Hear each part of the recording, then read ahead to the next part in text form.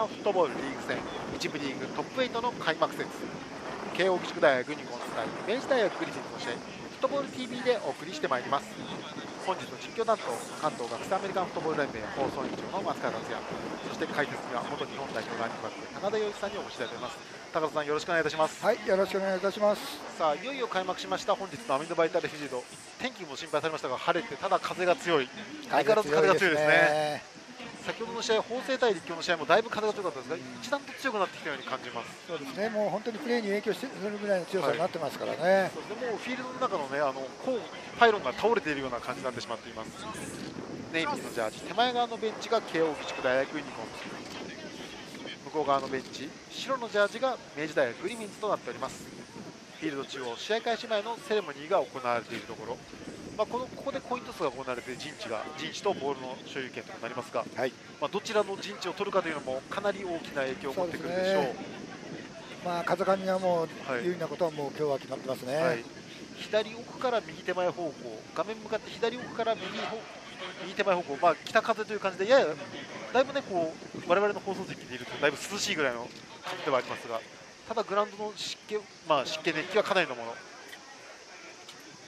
慶應義塾大学の染谷首相明治大学の氏家首相がポイント数表裏交通の明治大学の氏家。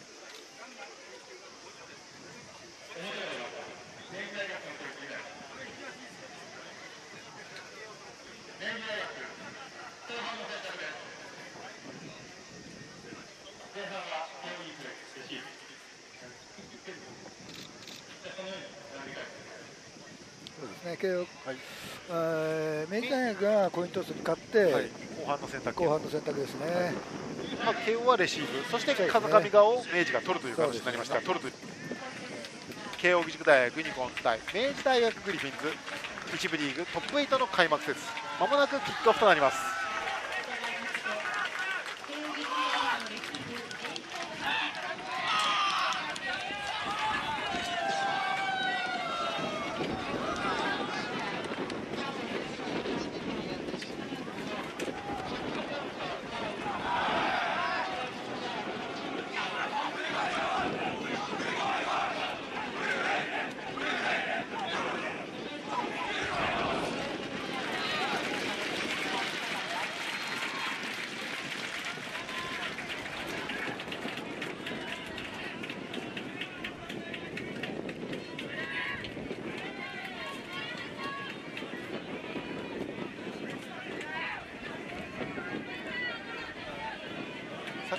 散らばりました。白のジャージ明治大学グリフィンズ。そしてネイビーのジャージ慶応義塾大学がこれから今サイドラインからこうハードルを組みましてそこからフィールドに出るという形になります。明治大学のキックオフで試合開始となります。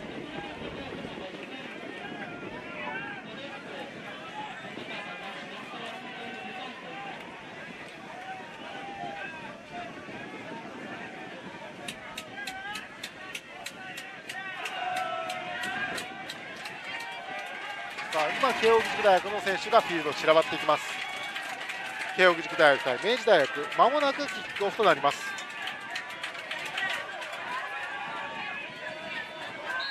明治大学37番佐藤大輝のキックオフで試合開始です。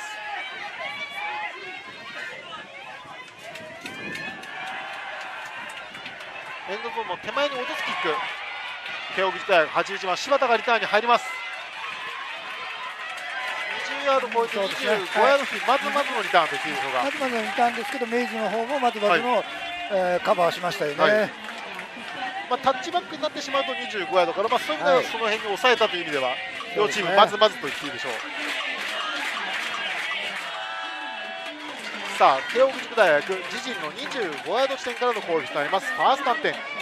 さあ、ネイビーのジャージ、慶応義塾大学のオフェンスのターティメンバーをご紹介してまいりましょう。オフェンスラインが右から72番の犬飼63番の池田71番榊原50番黒松そして77番の柳瀬クォーターバック2番の小田裕太まずは19番の加藤ですよねワイドレシーバー19番加藤へのパス通した、はい、もういつも慶応大学が使うあのスタントのプレーですね45でスッと入ってくるタイミングなんかに非常に合ってるプレーでしたねさあそして慶応のハグはこのノーハンドローベンス。今シーズンも焼きます、敵陣41ヤードからのファースト点1番コーナー真ん中へのランプレーはさほどの原因にはなりません。コーナーのインサイドのプレはい。ーラインバックがよく止めましたね。さあ慶応のオフェンスのスターティングメンバー続けましょう。タイトエンドに8番の富永。ワイドレシーバー7番の村と先ほどパスをキャッチしました19番の加藤。そして81番の柴田と入ります。ランニングバックは1番のコーナーが慶応義塾大学のスターティングメンバーとなっていますさあ小田がパスを通した。柴田がフリーだった。81番の柴田君。ちょっとあの縦上がってからカムバックして戻ってきましたね、はい。フリーになってましたよね。戻ってフリーになったところでパスを通す。慶応義塾大学再びファーストター。ンそして敵陣の24ヤード地点からのファーストターン点。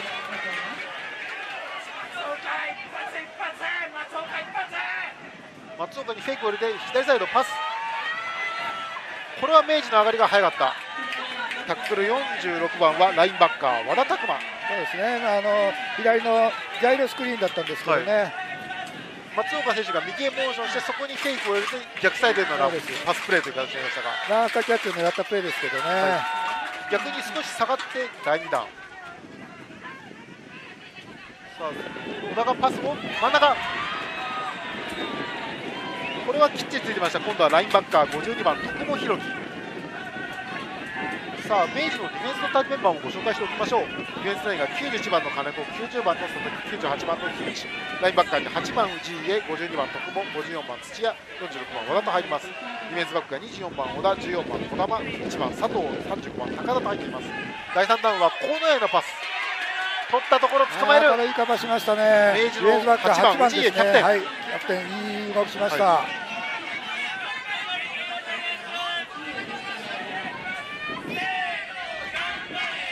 2つこうファーストダウン取られましたがその後はいい守備で止めて第4ダウンは。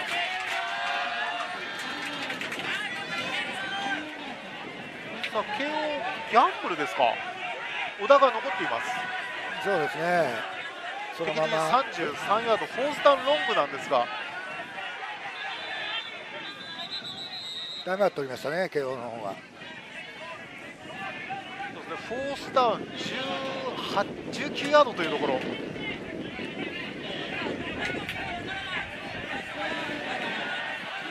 タイムアウトを取って選手を入れ替えて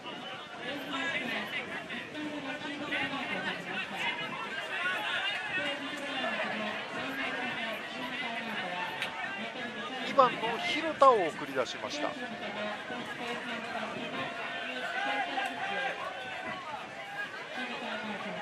パントフォーメフォーメーションに変えましたね。そうですね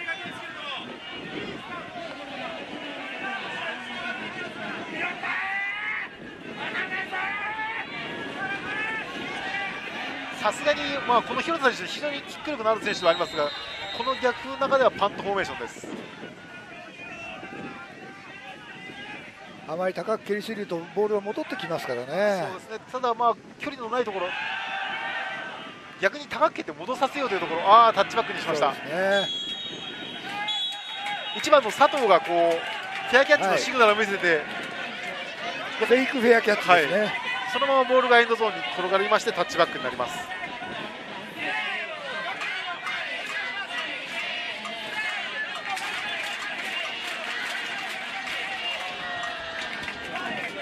明治の方はさあ20ヤード付近からですかね、自陣のそうですね。ファーになりますね。タッチバックとなりましたので自陣20ヤード地点から明治大学の攻撃となります。おちょっと面白い形レシーバーを左に4人。そうですね。右に4人広げました。そして真ん中のランでいきます。クォーターバック3番中村が真ん中を突くというプレーから入ってきました。さあ明治の白のジャージ明治大学オフェンスのスターティングメンバーをご紹介してまいりましょうオフェンスラインが左から70番の佐野74番74番松尾59番神田57番山本51番高田と入ります。クォーターバックは3番の中村ランニングバックに22番の加藤30番二見が入ります。サイドエンドは85番の三輪ワイドレシーバー7番の森平そして11番坂本と入っています。明治大学オフェンスのスターティングメンバー。第2弾はランプレー22番の加藤貴弘にハンドオフ手渡ししています。まあ、単純なインサイドのゾーンプレーなんですけどね、はい。左側へ行きましたけど3ね。ヤードぐらい。第3ダウン残り5ヤードと変わります。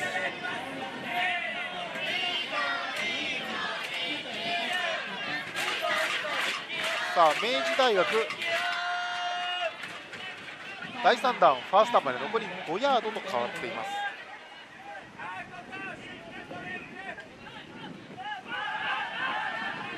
パスをエースラエースレシーバーの森平のところ狙ったんですけどね、23番の井山がよく手を伸ばしました、そうですね。カバーの方が今上回りましたね。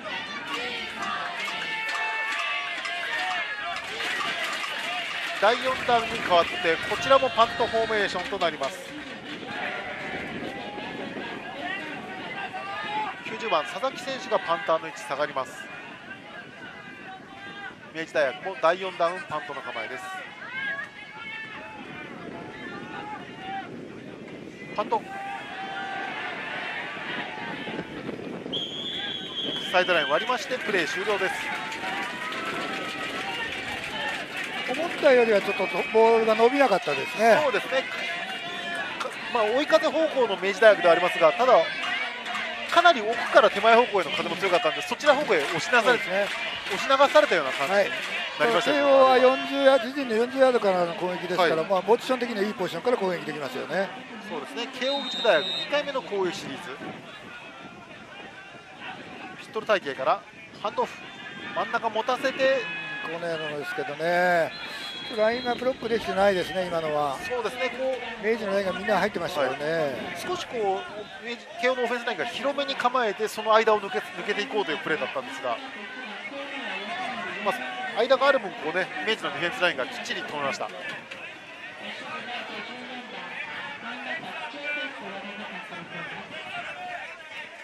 ハンドオフ。これもこのようですこのように持ね。たせて今度は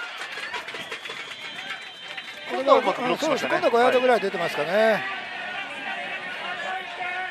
5ヤードほどゲインして第3ダウンに変わります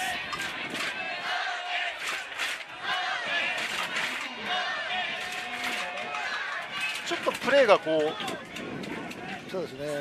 サイドのレシーバーを入れ替え入れ替えさせたのかあるいは間違ってたのか小田が指示して投げ込んだパスあ、いた。あー、あこれはですね。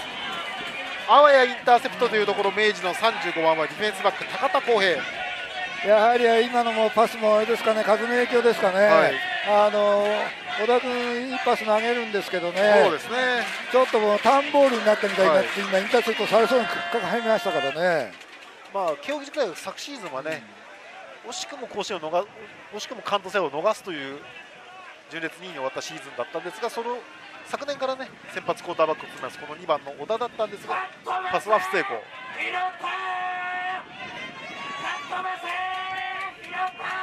さあそしてパンター2番の広田に変わります。パント蹴ります。見送って20ヤードの内側これは止まるでしょう。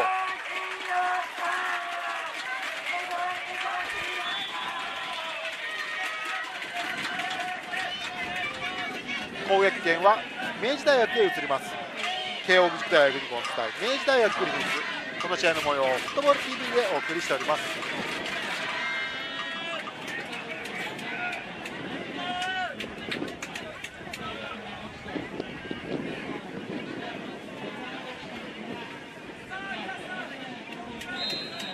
明治大学2回目の攻撃シリーズ自陣の5ヤード地点からの攻撃開始です。ファーストン10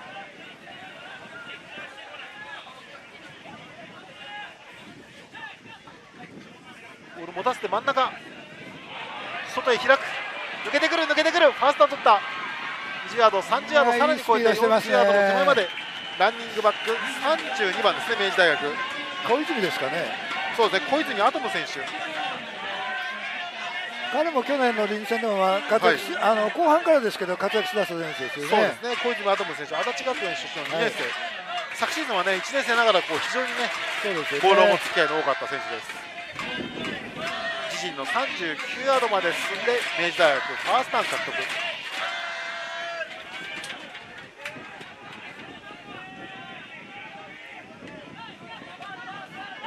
パスの構え。かわしてかわして前へ出る。クォーターバックあ15 15番番の相手にあれですね。変えてますね、はい。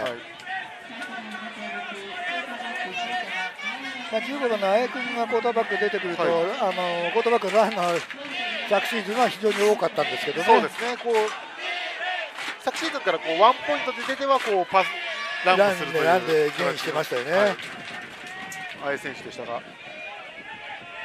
あ、タイプは違いますがこの3番の中村選手すごく先発だったあの選手も非常にランのね足の切れ味のあるランを持っている選手でありますがそしてまた抜けてくる今度は22番ですね。22番の加藤君ですかね。中のプレーですけど、あの明治の選手はもうこの加藤君にしろ先ほどの小泉君にしろ、はい非常に縦上がるスピードが速いですよね。はそして明治といえばこうランニングバックというのは非常にこねうスピードあるランニング伝統はもうまだ残ってますよね。は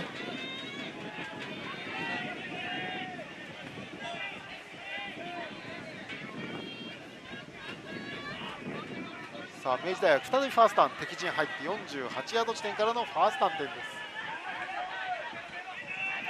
今度は小泉。これも真ん中のラン。そうですね、小泉君があの体小さいんですけど、もうそれをまたもっと小さくなってはい。突っ込んでいきましたよね。ああなるとこう慶応の守備陣からなかなかどうですか？見えてるんですかねっていう感じになってしまうんいやですがゴールキャリアには見えてるんですけど、はい。こちらのあのタックルする方も低くいかないいかなきゃいけないんでね、なかなか強いタックルってできなくなりますよね。そしてまたここでバックス変えます22番の加藤が出てきてクォーターバックも中村3番に変わっています。レシーバー左右に2人ずつモーションかけてハンドオフ。あー捕まえた。ああ、これはロスになりましたね。割って入ってきた慶応の18番ラインバッカーは中野浩平。リバースプレーみたいになってたんですけどね、ちょっとこれロスですね。そうです。すみません慶応のディフェンスのスターター今ご紹介するの遅れておりました。ディフェンスライン9番の並木93番の岸95番の渡辺。ラインバッカー4番工藤18番中野。53番勝貝55番後藤。ディフェンスバックに1番萩原。11番井本。23番岩間。25番松浦と入っています。さあ明治大学は第3ダウンあとちょっと。お、坂本取りましたね。ただ取りましたけど、今ファールマーカーが出てますけど、あれはどういうのでしょう？タッチダウンにはなりましたけど、ファールマーカー出てます。はいちょうど50ヤードライン付近ですね。今、レシーブした坂本君がワイドレシーバーに似たぐらいの位置ですよね。オフサイド守備側のオフサイドということでタッチダウンですね、はい。タッチダウンです慶応の反則はい。オフサイド、まあ、オフサイドの反則ということで、ディクライン、当然、この反則は適用しません。はい。25番、松浦と入っています。さあ、明治大学は第3ダウン、あとちょっと、お、坂本パス通した取りましたね。ただ取りましたけど、今ファールマーカーが出てますけど、あれはどういうのでしょう？